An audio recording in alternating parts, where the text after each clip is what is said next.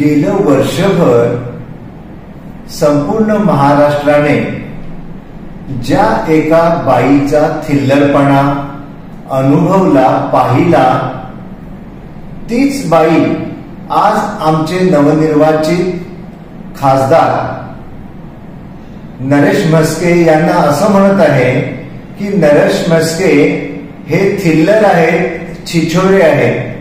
आता छिछोरे या शब्दाचा अर्थ मला सुद्धा कळला नाही परंतु छिछोरेपणा काय असतो तो खरं म्हणजे ही बाई गेली दोन वर्ष दाखवत आहे अख्ख्या महाराष्ट्राला. ती असं म्हणत आहे की जे कोणते दोन खासदार उभारण्याचे तुमच्या शिवसेनेत येत आहेत त्यांची नावं उघड करा.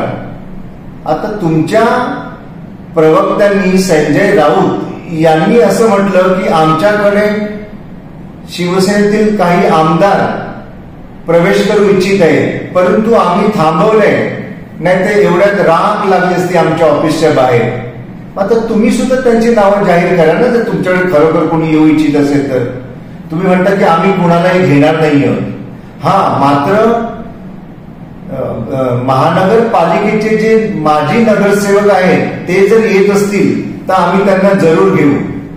का? तर तुम्हाला पुन्हा त्यांची मदत घेऊन या मुंबई महानगरपालिकेला लुबाडायचं आहे का? गेली पंचवीस वर्ष तर तुम्ही लुबाडत आहात. या मुंबईचं तुम्ही वाटोळ केलं. या मुंबईला काही फायदा तुम्ही करून दिला नाही. पुनश्च एकदा तुमचा महानगरपालिकेवरती डोळा आहे असं वाटतं.